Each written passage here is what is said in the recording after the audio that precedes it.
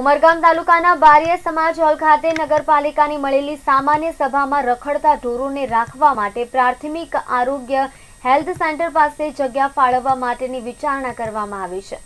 નગરપાલિકાના પ્રમુખ ચારુશીલાબેન પટેલની ઉપસ્થિતિમાં મળેલ સામાન્ય સભામાં વિકાસ કામોના મુદ્દે ચર્ચા વિચારણા કરવામાં આવી હતી. આ સામાન્ય સભામાં વિપક્ષ સહિતના ચોવીસ નગરસેવકો ઉપસ્થિત રહ્યા હતા. કરેક્શન કર્યું છે. એટલે હવે આપણે જેમ કોર્પોરેટ લુક સાથેની ઓફિસ બિલ્ડિંગ આપણે પ્લાન કરી રહ્યા છીએ. તો જેનું ડિઝાઇન છે ને, અમારી પાસે છે. અને જેના પણ જોવાની જે કોર્પોરેટર્સની ઈચ્છા હોય, એને અમે બતાવશું. એમાં આપણે લગભગ છે ને એક જૂનામાં આપણે તરુણ નાનો હતો, પ્રમુખ ચીફ ઓફિસરની ચેમ્બર નાની હતી. અને આપણે રેકર્ડ કંઈ હતું એ આપણે એડ કરી કરશું. એટલે આપણે વ્યાજ કરી શકીએ એ લેવલે આવી જઈશું એટલે એક આપણું મેઇન આજે બેસવાનો પ્રશ્ન છે વ્યવસ્થિત એ રીતે કરશું.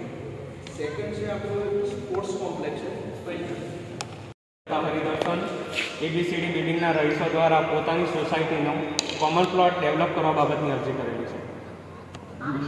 એમાં એમણે સાંસ્કૃતિક તથા ધાર્મિક કાર્યક્રમો માટે ત્યાં સુવિધા કરવા બેવર બ્લોકની રજૂઆત છે. આપણે નગરપાલિકા દ્વારા કરી શકાય કે નહીં? વોર્ડ નંબર ત્રણમાં. વોર્ડ નંબર ત્રણનો છે સોસાયટી છે.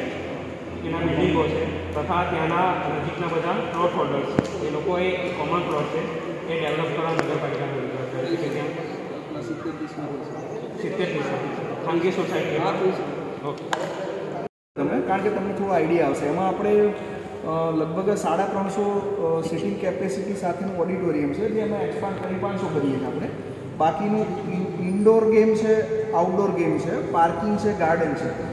આ લગભગ આજે માપણી ખૂંટ આજે મરાઈ જશે રાઈટ એના નેક્સ્ટ લગભગ બુધવાર સુધીમાં એ આવીને એનું સોઇલ ટેસ્ટિંગ કરી લેશે અને એક મહિનાની અંદર આનું પ્રોજેક્ટ કરી દઈશું. એટલે આપણી માટે હાલ પ્રાયોરિટીના એક ઓફિસ બિલ્ડિંગ છે, એક આ છે.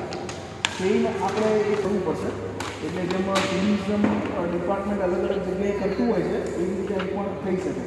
એક આપણો નગરપાલિકા વિસ્તારનો એક પ્રશ્ન ભૂગર્ભ ગટર જોડાવાનો છે અને અમુક અમુક જગ્યાએ ડ્રેનેજ ચોકઅપનો પ્રશ્ન છે. બરાબર? એટલે જીયુડીસીમાં આપણે વાત કરી છે.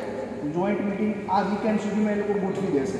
એટલે ભૂગર્ભ ગટર રિલેટેડ પ્રશ્નો છે. બીજું કે જેટલી લાઈનો નાખવાની જે બાકી રહી ગઈ છે, એ બી એમાં ઇન્ક્લુડ કરી નાખશે.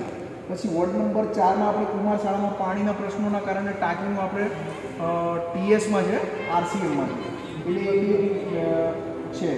પછી એક આપણે અકરા મારુતિથી વીસ સુધીનો આપણે એક પ્રવાસન પથની પણ દરખાસ્ત કરવી છે. એટલે એક એવો રોડ હોવો જોઈએ આઇકોનિક કે જેમાં પ્લાન્ટેશન હોય, વ્યવસ્થિત ડિવાઈડર હોય બેન્ચીસ હોય, એના સાથેનો એ રોડ એવો લાગે કે યુનિક થોડો લાગે, બરાબર?